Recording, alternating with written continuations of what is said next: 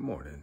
Most of the time, um, I choose a couple of verses and then share a few words about them for a debate, daily devotional.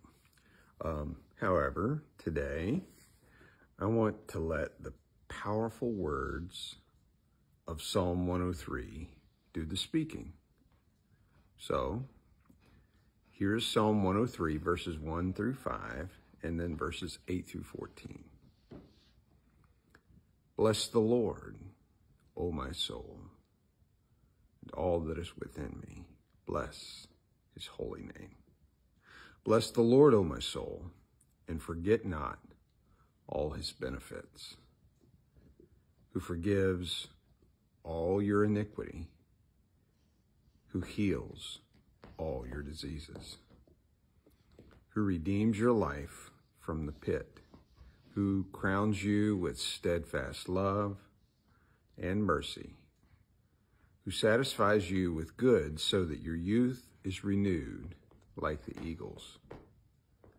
The Lord is merciful and gracious, slow to anger, and abounding in steadfast love.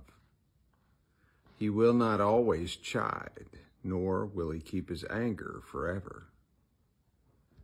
He does not deal with us according to our sins, nor repay us according to our iniquities. For as high as the heavens are above the earth, so great is his steadfast love toward those who fear him. As far as the east is from the west, so far does he remove our transgressions from us. As a father shows compassion to his children, so, the Lord shows compassion to those who fear him, for he knows our frame. He remembers that we are dust. Today, I want to bless the Lord who has forgiven, healed, redeemed, crowned and satisfied me.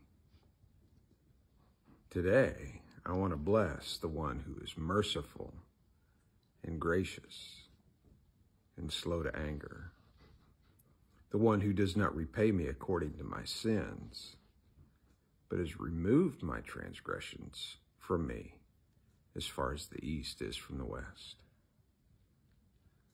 Bless the Lord, O my soul and forget not all his benefits.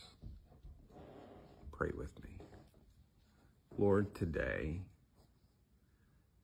I pray that you would not only help me remember